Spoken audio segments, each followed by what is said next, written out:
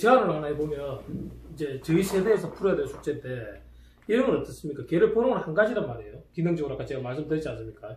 근데 최고의 최고와 최장의 비율을 조금 더 폭넓게 주고 그렇게 해서 심사를 개체를 보는 거죠. 모든 견체학을 음. 봐가지고 조금 체계가 높은 놈이 견체학이 더 좋으면 얘가 보행이 더 이쁘면 선정이 될 수도 있고 조금 작은 놈이 될 수 있단 말이에요. 그렇게 하다가 어느 세월이 갔을 때 유행에 의해서든 어쨌든 이제 다시 압축이 될 거라고요. 최고 최장 비율이 비율은 뭐 그대로 가는 거고 이제 고가 사실은 이제 지금 조금 더 밑에도 조금 더 위로까지도 폭이 넓어질 수 있단 말이에요.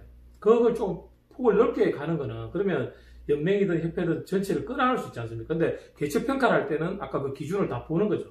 그렇게 했을 때 조금 이게 이제 미래로 나아갈 수 있지 않겠냐 하는 게 제 개인적인 생각인데 어떻게 생각하십니까? 그것은 예, 심사위원장이 주관하더라고. 예, 예, 어, 그러니까, 아, 심사위원들이 연필 들고 종이 들고 그냥 뭐폼 잡고 열심히 보시는 것 같은데, 예, 결정은 위에 어른이 하시더라고. 예, 예. 그분이 그 마음을 가져야지, 뭐. 음. 음, 그분이 하신다. 그러면 만약에 제, 제가 제안한 것처럼 최고와 그 최고의 비율을 이제 좀 아래로 위로 조금 더 폭을 넓게 가져가더라도 그건 상관없어요. 견체학만 제대로 딱 보면 세월 흐르면 걔가 좀 커. 클 예. 수가 있어. 잘 먹이면 더 커. 그러니까, 견체학만 제대로 평가를 해서 고르면 상관이 없다. 우리 국회의원은 예. 심사위원 보고 뽑게. 예. 그러면 사람들이, 아, 이게 더 좋은데, 저거.